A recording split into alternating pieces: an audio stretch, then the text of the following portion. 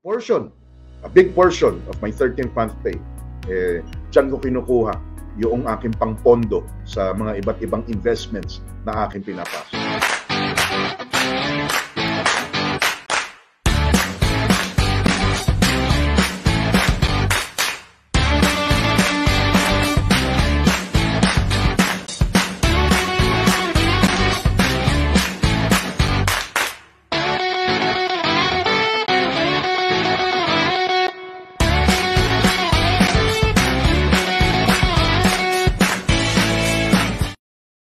Welcome back to Peaceabilities. Armand Benko po, your host.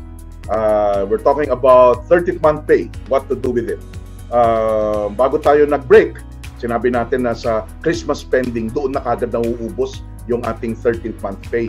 Kung kakapasok na lang po sa programa, eh, balikan nyo po ah, balikan nyo po. Meron akong mga inuna na dapat or pwedeng paggamitan ng ating 13th month pay. Pangbayad ng utang, bayad ng utang, pang ating mga medical uh, check-up, pang repair sa bahay o sa sakyan, yung ating uh, uh, pinag-uipunan na siguradong pagkagastosan sa inaharap tulad ng tuition fee, enrollment, emergency fund, yung pagpondo, at ngayon, uh, bago natin nandito tayo sa Christmas spending, pinaalala pa natin yung cash reserves. So halos nasa huli na, second to the last, yung Christmas spending. Eh sir, dyan nauubos yung pera namin eh uh, yung mga gastusin ngayong Pasko. Now, paano ba pwedeng i-address yan, yung mga gastusin? Sa food, di ba, oh, alam niyo naman hindi na bago yung potluck. Lahat naman po ngayon naapektuhan. Kaya kung meron kayong mga uh, kainan sa pamilya, reunion, eh practicing yung potluck. Uh, kanya-kanyang dala, pag-usapan, pagplanuhan, para hindi magdoble-doble kung ano yung dadali ng isa, uh, panghimagas ba, main meal ba, uh, yung uh, pantulak ba? O pambara, uh, seafood ba, sino yung sa karne, sino yung sa dessert. Uh, it's not so bad na medyo i-taper down na natin. Kalimutan na natin o wag na natin gawin yung na, hindi ko ba napapansin pag Pasko, pag uh, December 25, 26 o January 1, 2, 3, yung mga masasarap na pagkain na hinanda natin, ayaw na natin kainin kasi dalawa, pangatlong araw na natin kinakain, nasasayang, ang daming sobra. So, uh, do away with uh, wastage. Mali din yung wastage eh. Di ba? Sayang. Uh, sobra-sobra, kakaramihan natatapon pa. Activities. Isipin ng mga activities na hindi magastos. Last year, bibida po ako dahil dun sa uh, pinaghandaan ng mga bata. Uh, nandito lang po kami sa uh, bahay. Uh, marami kami. Dito lang, hindi kaila, hindi kami makalabas dahil uh, nagtitipid at uh, hindi wala rin masyadong mapuntahan. We had one of the best uh, activities and Christmas spending dahil uh, yung aming indoor activity dito sa maliit naming lugar, sampu ho kami, 10 uh, nine adults and one toddler, yung aking apo, three years old last year. But uh, we had a blast. Uh, we had indoor games here. We played, uh, basta marami mo kaming uh, uh, activities na ginawa. Uh, tawanan, masaya, nakakapagod.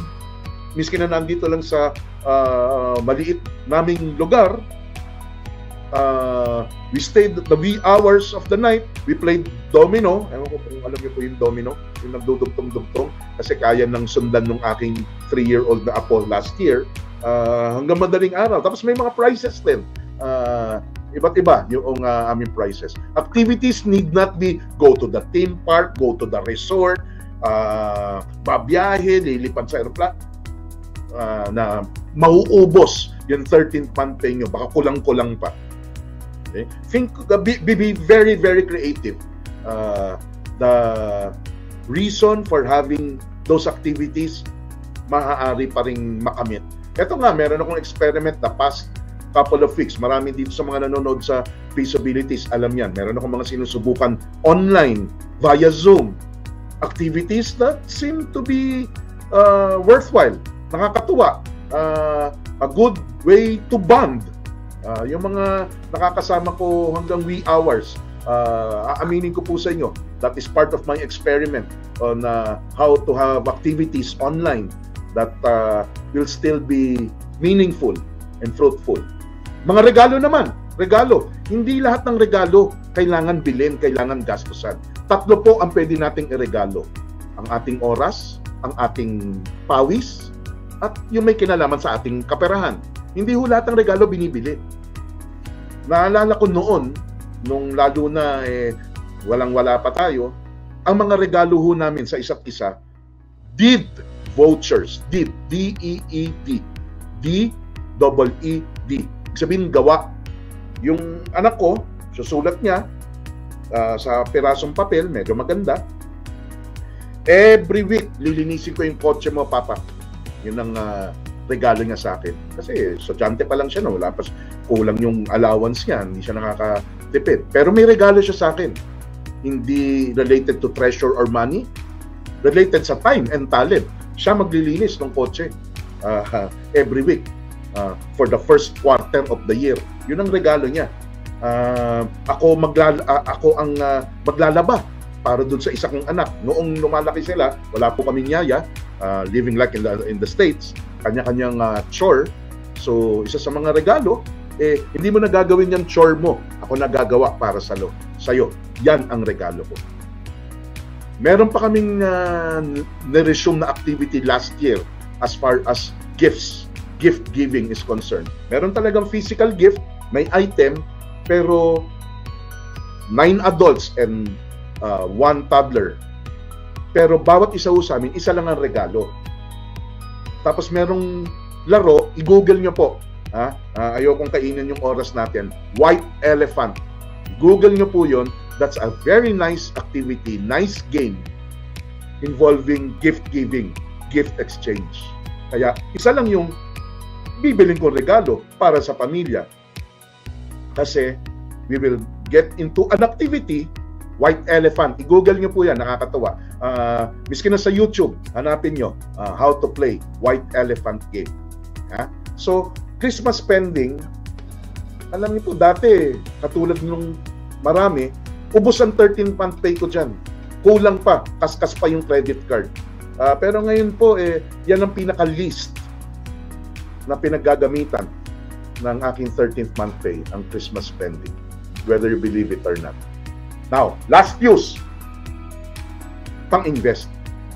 A portion, a big portion of my 13th month pay, eh, dyan ko kinukuha yung aking pangpondo sa mga iba't ibang investments na aking pinapasok. Just to give you an idea, just to give you an idea. GCash, pamilyar po kayo sa GCash. Sa loob ng GCash, merong isang uh, feature doon, G-Invest.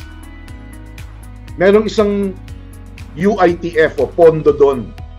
Uh, a Atram Global Technology Feeder Fund.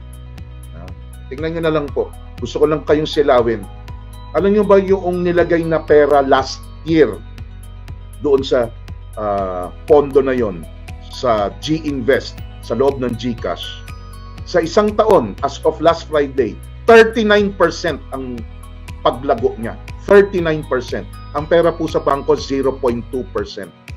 0.2%. Ang stock market po natin hindi nag 10% uh, uh, sa isang taon. Ito 39%. Eh lalo na yung Bitcoin, yung la, siguro ma, uh, doon sa sumusubaybay sa atin, uh, lagi niyo nang naririnig, si Arban Benko ba, Colayco Foundation ba may-ari ng Bitcoin? Wala pong may-ari ng Bitcoin.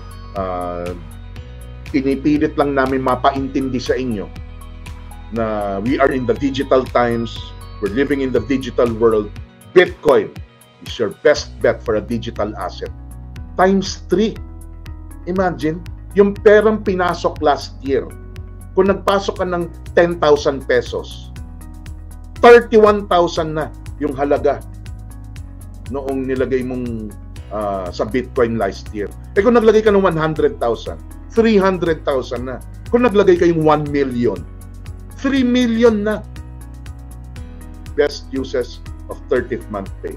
Uh, hindi po siya pang Christmas spending lamang. So marami sa inyo matagal nang sumusubaybay sa amin. may get one year na tong Peaceabilities in CBRC.tv. Yung Peaceabilities Facebook, eh, uh, five, six years na.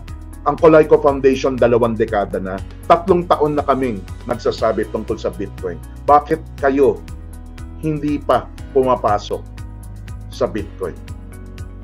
Dahil, bakit pa ho kayo nanonood? Eh, meron kaming binabahagi sa inyo na legal, legit, at uh, makakatulong sa inyo. Sa inyo. Kailangan aralin ninyo uh, kayang Bitcoin at kayo mismo ay uh, maging bihasa, masanay, mahusay na gumamit nitong digital asset, cryptocurrency, specifically Bitcoin. Best uses of 13th month pay, bayad utang, medical maintenance, home or vehicle repairs, additional savings for expected expenses in the future, pandagdag sa emergency fund, pang build up ng cash reserves, yes, pang Christmas spending, at pwedeng pang investing. Okay? So, kayo, ano ang gagawin nyo sa inyong 13th month pay? Final note, aking pagtatapos. This will be definitely kakaibang Pasko. Kakaibang Pasko. Akala natin uh, iba na yung Pasko last year, December 2020. Iba pa rin. Lalong mas iba itong Paskong 2021. But, we can still enjoy, lalo na, the spirit of Christmas. And the real reason of the season that it is not on the presents mga regalo, but the presence and the coming of our Lord Savior. Maraming maraming salamat po. Hanggang sa susunod na lunes, Peaceabilities, 7 p.m., cbrc.tv, not presents, but presents. Pagkatapos na pagkatapos ng pagsara ng ating programa, ngayon lang, dahil magkikita-kita tayo sa susunod na lunes. Maraming maraming salamat! Bye!